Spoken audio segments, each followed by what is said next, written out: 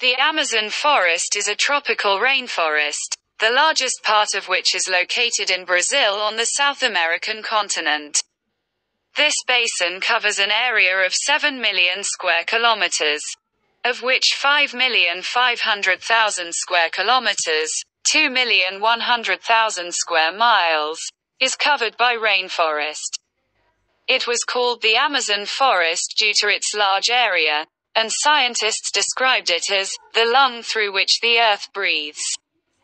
Due to the process of photosynthesis that produces oxygen, as it is considered the largest forest on the surface of the earth.